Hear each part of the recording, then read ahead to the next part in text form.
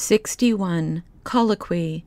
I will conclude with a colloquy, extolling the mercy of God our Lord, pouring out my thoughts to Him, and giving thanks to Him that up to this very moment He has granted me life.